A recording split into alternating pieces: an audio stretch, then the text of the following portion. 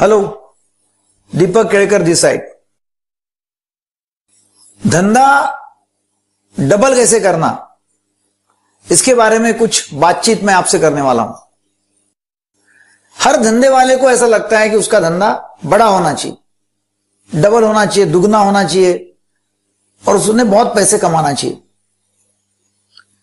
मगर मुझे लोगों को सवाल पहले यह पूछना है कि आप सच्चे धंधे वाले हो क्या? कि कुछ लोग जो रहते हैं, वो एक छोटा सा धंधा लेके बैठते हैं। छोटा दुकानदार है, पान पट्टी वाला है, या छोटा दुकानदार है, किराना दुकान है, और वो खुद, चालक खुद मालक है। मतलब सब कुछ खुद करेगा। झाड़ू भी वही लगाएगा, पैसे भी वो लेगा, माल भी वो निकाल के देगा। तो वो एक्चुअली धंधे वाला है नहीं। वो कौन है? वो सेल्फ एम्प्लॉयड व्यक्ति है।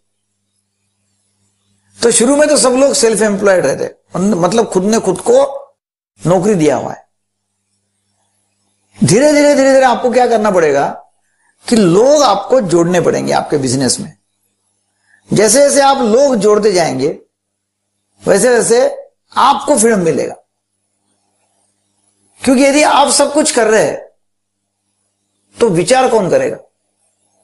दिन भर यदि सवेरे नौ बजे से दुकान खोल दिया और रात को नौ बजे तक दुकान चालू है, दस बजे तक दुकान चालू है, आप घर से डब्बा वहीं बुला रहे, वहीं खाना खा रहे, कहीं आ नहीं रहे, जा नहीं रहे, कुछ नहीं कर रहे, सिर्फ़ माल निकाल रहे, बैठ रहे तो धंधा बढ़ाएगा कौन? बड़ा कौन करेगा? माल कौन खरीदेगा? मार्केटिंग कौन करेगा? नए नए आइडियाज़ कौन लाएगा? तो आपको क्या करना पड़ेगा? इसके लिए सिंपल एक कोचिंग ये है मेरा।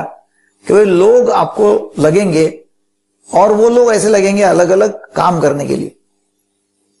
जैसा कोई मार्केटिंग का काम कर रहा है, कोई खरीदी का काम कर रहा है, कि कोई माल खरीद के ला रहा है, कोई मार्केटिंग कर रहा है, अपने नाम का मार्केटिंग धंधे का मार्केटिंग कर रहा है, और कोई गले पे बैठा हुआ है बैठा हुआ है, कोई देख रहा है कि स्टॉक कितना है तो ऐसे धीरे धीरे धीरे धीरे आपको लोग अपॉइंट करने पड़ेंगे। और आप जब लोग अपॉइंट करेंगे वो धंधा जब ऑटो पायलट के ऊपर जाएगा। ऑटो पायलट इसका मतलब धंधा आप ही आप चल रहा है। आपको वहाँ बैठने की ज़रूरत नहीं है। लोग काम कर रहे लोग धंधा चला रहे और आप फ्री हो। तो ये जब कंडीशन आ जाती है, उसको बोलते हैं धंधे वाला धंधे वाला क्या करता है? धंधे वाला ट्रेडिंग नहीं करता। कि यहाँ से माल लाया, वहाँ बेच दिया। वो धंधे वाला एक्चुअली है नहीं। धंधे वाला मतलब एक मटेरियल लाया और उसको वैल्यू ऐड किया। और वैल्यू ऐड करके उसको बेचा। मतलब जैसा आम लाया फॉर एग्ज़ाम्पल आम लाया और आम बेचा तो हो गया ट्रेडिंग पर आम लाया, उसका जूस निकाला और उसका मैंगो शेक बना दिया।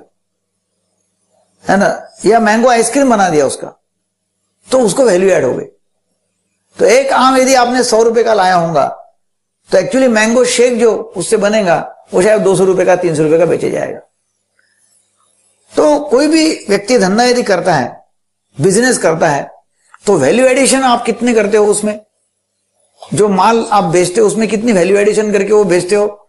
उसके ऊपर आपका धंधा कितना बड़ा होगा? वो डिपेंड करता है, वो निर्भर करता है।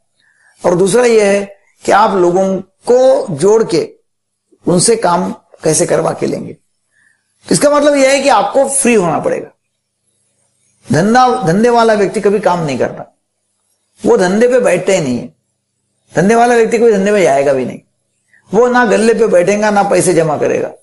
धंधे वाले का काम एक ही है, सोचना कि मैं क्या धंधा नया डालू, कौन सा धंधा नया डाल के या जो धंधा चले उसमें डाइवर्सिफाई कैसे करूँ, उसमें अलग अलग और क्या नया करूँ, नई चीज़ क्या लाऊं, नए तरीके से लोगों को क्या बताऊँ, नया मार्केटिंग स्ट्रेटेजी क्या लाऊं, नई रिस्क कैसी लूँ धंधे वाले का काम यही है। रिस्क लेना, नया मार्केट ढूंढना, नया प्रोडक्ट ढूंढना, उसके लिए उसको चाहिए टाइम और टाइम तभी मिल सकता है जब उसके पास में काफ़ी सारे लोग हैं। तो एक साल में डबल धंधा करना कोई बड़ी बात नहीं है। इसके बारे में धंधा कैसे ग्रो करना डबलिंग कैसा करना डबल और इनकम कैसे करना, इसके बारे में जानकारी हेतु आप मेरे यूट्यूब के वीडियो आप लाइक कर सकते हैं सब्सक्राइब कर सकते हैं और शेयर कर सकते हैं। Thank you very much